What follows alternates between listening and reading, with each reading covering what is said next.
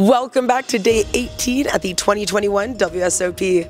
We had an exciting day yesterday with Chance Kornuth taking home his third WSOP bracelet after taking out a field of 66 players, among those Dan Shak and Chad Campbell, to win the 10K short deck no limit. Another congratulations goes to PLO instructor Dylan Weisman for winning the 1K pot limit Omaha in only two hours yesterday to take home his first WSOP bracelet and 160 $66,461.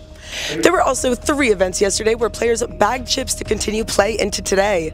Event number 31, the 1500 No Limit 2-7 Low Ball, only has 10 players remaining. The Monster Stack also continues play into today with nearly $4.7 million up for grabs. 1,219 players will come back to the Rio to play day two. Event number 32, the 3000 Horse, will continue today as well. Good luck players, and as always, you can follow along with these events and all other live updates on pokernews.com, powered by Club GG.